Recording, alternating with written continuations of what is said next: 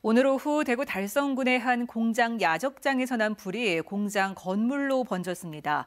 한때 시커먼 연기가 일대로 심하게 번지면서 재난 문자가 발송되기도 했는데요. 다행히 인명피해 없이 큰 불길은 잡혔습니다. 김은혜 기자입니다. 시커먼 연기 기둥이 쉴 새 없이 퍼져나갑니다. 소방대원이 물을 뿌려보지만 불길이 쉽게 잦아들지 않습니다. 달성군 세천리에 있는 한 공장에서 불이 난 건 오늘 오후 4시 40분쯤 야적장에서 시작된 불이 공장 건물로 번지면서 두 개의 동이 완전히 타버렸습니다. 연기가 심해 달성군은 인근 주민들에게 재난 문자를 보내기도 했습니다.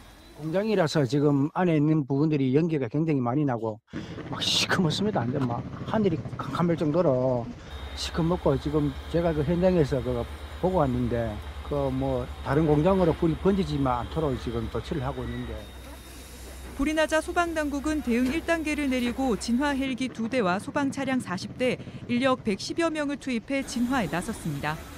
건조한 날씨에 바람도 강해 초기 진화에 어려움을 겪었지만 공장 직원 5명은 대피해 다행히 인명 피해는 없었고 1시간 20여 분 만에 큰 불길이 잡혔습니다.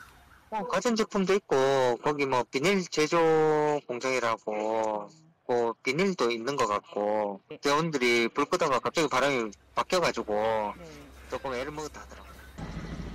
소방당국은 불길이 살아나지 않도록 완전 진화 작업을 마무리한 뒤 정확한 화재 원인과 피해 규모를 조사할 방침입니다. MBC 뉴스 김은혜입니다.